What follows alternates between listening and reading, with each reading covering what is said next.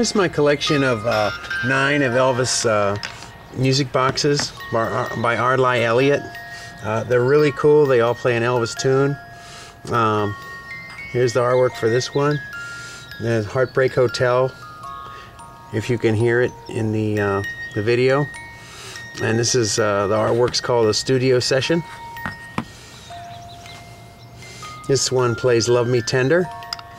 And this is At the Gates of Graceland.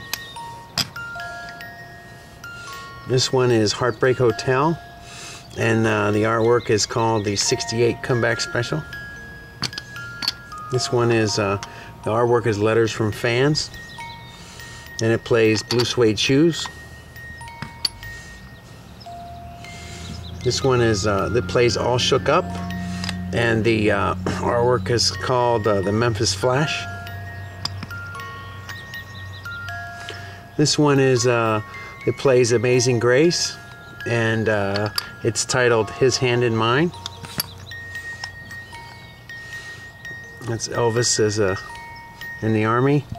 Uh, it's called Homecoming, and it plays GI Blues.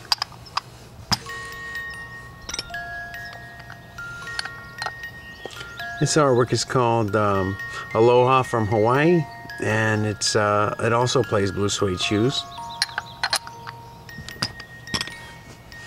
This last music box um, is uh, the artwork is entitled 69 Vegas, and it plays Hound Dog.